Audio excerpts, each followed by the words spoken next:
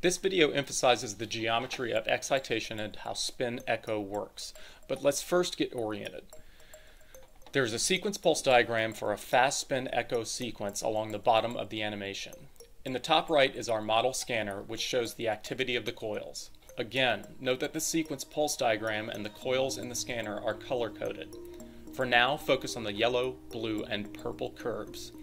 The yellow curve shows when the excitation pulse is transmitted. The angle of the excitation is shown next to the pulse in degrees. The blue curve shows the slice select gradient. Note that the excitation pulse and the slice select gradient always go together. The purple curve shows the signal generated by the patient. This is measured by the receive coils.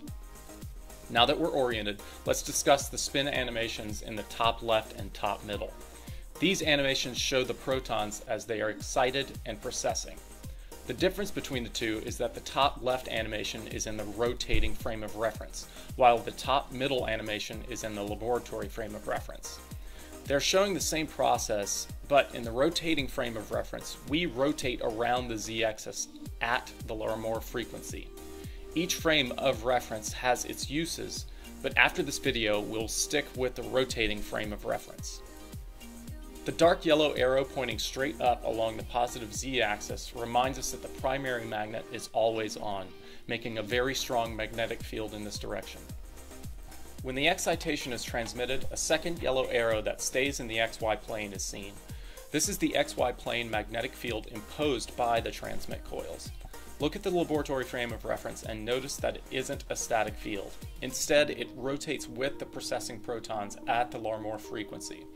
This is critical to the excitation process. Looking at the rotating frame of reference helps us understand why. The magnetic field causes the dipoles to move according to the right-hand rule. In other words, they simply rotate around the axis of the imposed magnetic field when it's on. We control how far they rotate by varying the time and strength of the excitation pulse. This is how we accomplish 90 degree and 180 degree rotations with a fast spin echo sequence. T2 star relaxation is also represented in the spin animations. Some of the protons precess faster, and these are green. Others precess slower, and these are red.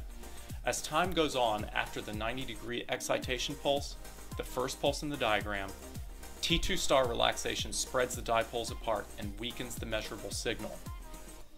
A 180 degree excitation delivered later, however, reverses the T2 star relaxation. The reason for this is appreciable in the spin animation showing the laboratory frame of reference.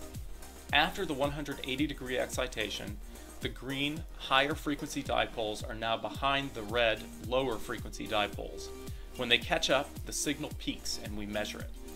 Notice that how long we wait to deliver the 180 degree pulse defines the echo time. Also, take a look at the purple curve and notice that each echo is weaker.